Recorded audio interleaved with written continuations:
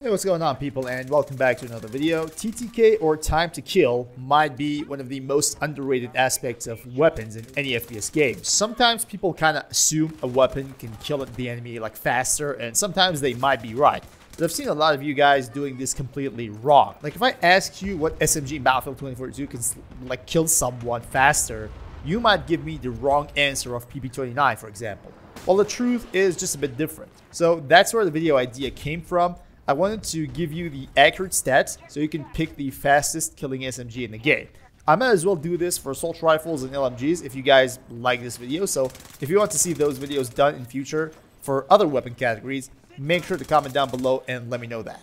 Alright, so we have 9 SMGs in 2042 and what we're going to do today is determining the fastest TTK a weapon can have with the optimized ammo and barrel options and we're going to rank them and in the end I'll give you the setup you need to get that maximum TTK out of that weapon and we're going to start from the slowest TTK weapon all the way to the fastest TTK. We're going to have a tier list for them so don't worry about it. I'm going to share it with you all in the end of the video so you can have a general look. You can basically compare them with each other and all that kind of stuff. So it actually gets more interesting towards the end of the video where things get a bit closer. Also because people tend to use SMGs mostly in under 30 meters, that's going to be the target range to analyze these weapons. So starting off with the slowest TTK SMG, which means it takes the longest to kill an enemy under 30 meters, the MP9. Now, we all know that MP9 isn't the best out there, but when it comes to TTK, it's actually the worst. It has a TTK of 270 milliseconds with both close combat and standard issue rounds. So no matter which one you use, the TTK stays the same. However, this really doesn't mean that you shouldn't be playing with the MP9. I still think this weapon is so underrated. You don't come across a lot of people playing it, and the TTK might be the main reason. You know, you kind of understand which weapon has more damage and which one can you get a kill with faster. And because of that, despite many players not knowing these numbers, they tend to avoid playing it. My suggestion, give it a go yourself. It really shocks you how good of a weapon this is, and I'm pretty sure you're not going to regret this. Now for the setup, as I mentioned before, standard issue and close combat ammo have the same TTK, but you have a drum mag when it comes to close combat rounds, so go for close combat drum, then close combat extended, and then standard issue extended. For barrel, I prefer a wrap suppressor, then put on an MGL laser sight for more hipfire accuracy, and then the weapon sight, which is your own choice. So here's the setup for the MP9. Next up, we don't just have one weapon, but we have four weapons actually. So four weapons in C tier. What I mean by that is the best TTK that you can get from these four weapons in under 30 meters is exactly the same, and it is 267 milliseconds.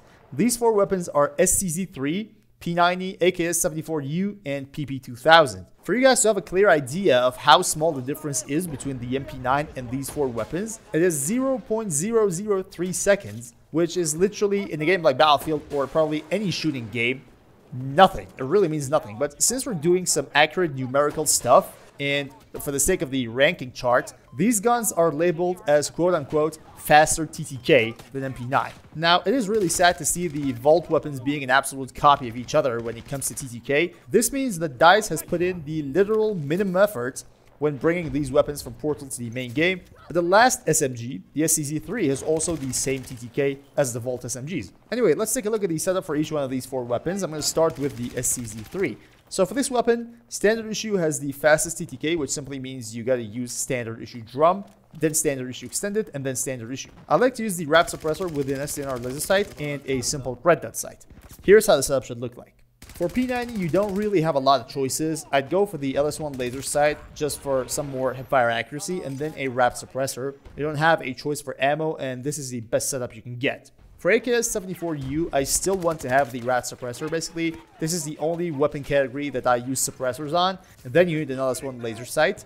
For ammo, just like other Vault weapons, you don't get to choose, so use everything you have available. And the setup is complete, looking like this.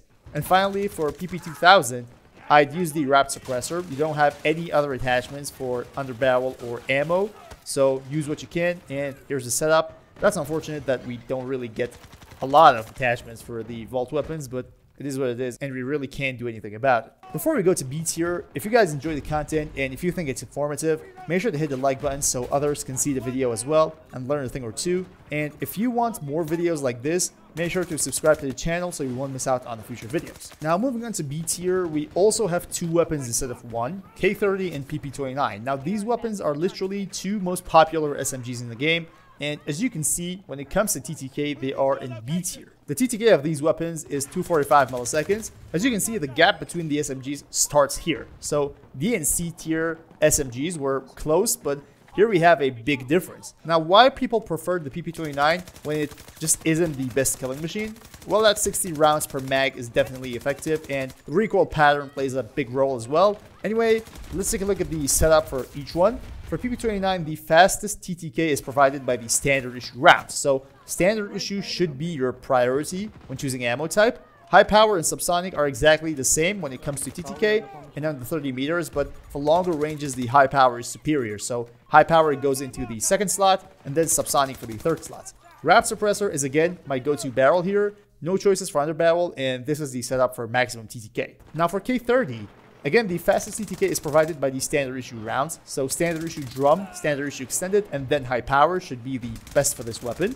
Rap suppressor, MGL laser sight, and any red dot of choice should do the trick here for the K30, and here's the final setup. Moving on to A tier, we've got the almighty successor of the UMP45, the PBX45. I gotta say, I had to use mathematics to determine the average TTK of this weapon in under 30 meters because the numbers were different in every 10 meters. The average TTK was 244.6 milliseconds. As you can see, the difference between A tier and B tier is more like a joke. 0.0004 seconds.